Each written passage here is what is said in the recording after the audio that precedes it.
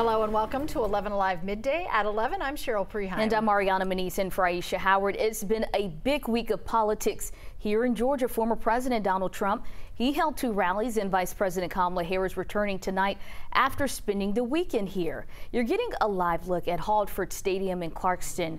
This is where Vice President Harris is campaigning tonight. As you can see, preparations are already underway.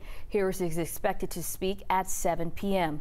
Tonight's event is a Get Out the Vote rally with former President Barack Obama. It marks the first time the two have campaigned on the same stage.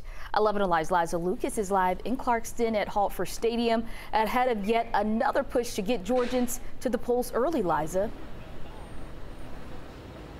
Exactly, Ariana. And the message from the Harris campaign that they hope supporters will take away tonight is when we vote, we win. And we want to give you a little bit of a different vantage point from the ground because those supporters are starting to line up. Doors are expected to open here for the event around 2.30 this afternoon. And already there's a lot of activity taking place, vendors setting up, people getting in the queue, got their camp chairs ready, ready to get in and see what's really going to be another star-studded event tonight. As you mentioned, the vice president set to join the stage campaigning for the first time with Barack Obama in a stadium that can hold easily 15,000 people. Bruce Springsteen, Tyler Perry, and other stars also set to join tonight's rally as early voting continues in the state.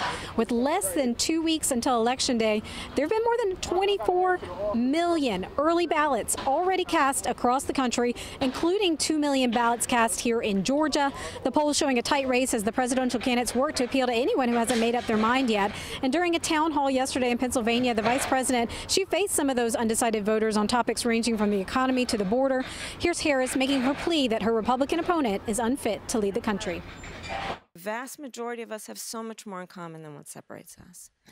And I think that the American people deserve to have a president who is grounded in what is common sense, what is practical, and what is in the best interest of the people, not themselves. So when we talk about logistics for today, if you're planning your day, if you're in the area, well, the vice president is first set to land at approximately 3.30 p.m. this afternoon at Hartsfield Jackson. Then she'll be giving her remarks here at the stadium around 7 p.m. just to give you an idea of how that day is going to unfold. And then she's expected to take off again a little bit before 9 o'clock tonight. Of course, we will keep you posted on her movement throughout the course of the day, as well as how the event event unfolds this evening. In the meantime, live for you in Clarkston, Liza Lucas, 11 Alive News. Liza, thank you. And we know that venue can seat about 15,000 people, so it could be a big crowd. The vice president's visit then sure to be an impact to traffic today across the metro as well. 11 Alive traffic expert Crash Clark joins us with a look at what could be a messy evening commute. Crash.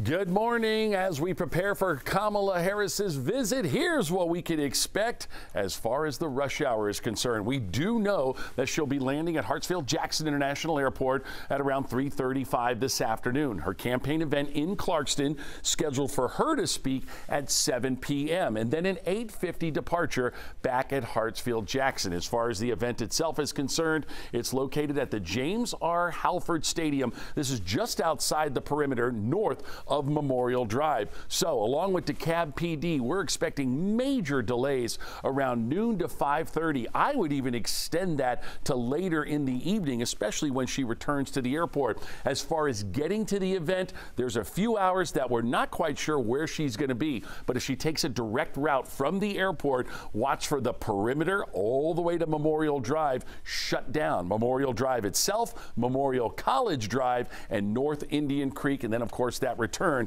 back to Hartsfield Jackson International Airport. If anything changes, I'll be here at 4 p.m. to help guide you through it. Good luck.